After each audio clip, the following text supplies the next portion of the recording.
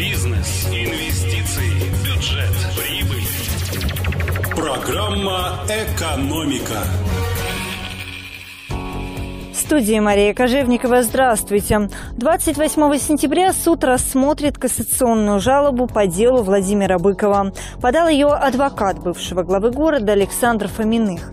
На днях шестой кассационный суд общей юрисдикции вынес определение по итогам изучения жалобы.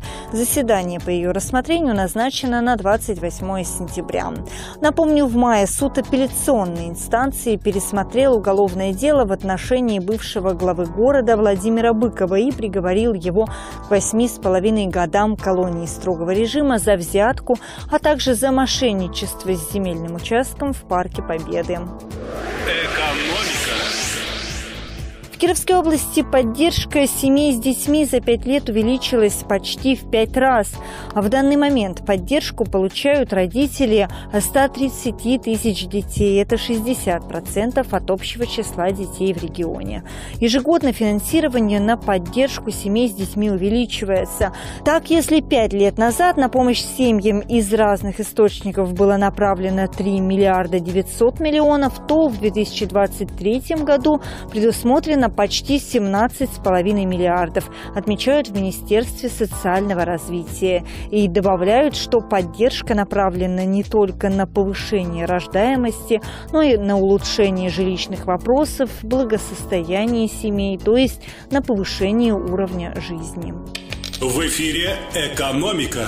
А сейчас информация от наших партнеров. Выбор всегда сложное решение. Даже зная плюсы и минусы, выбрать между ИП и самозанятостью бывает затруднительно. Руководитель компании «Бухгалтерия» Татьяна Максимчук на цифрах показывает разницу.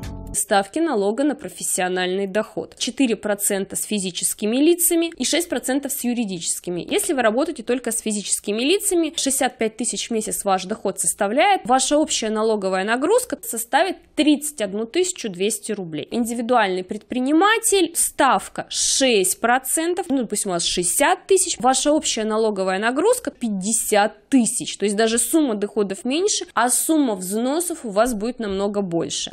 При работе только с юрлицами налоговые ставки одинаковые, и руководствоваться при выборе придется другими факторами, например, важностью стажа или нежеланием составлять декларации.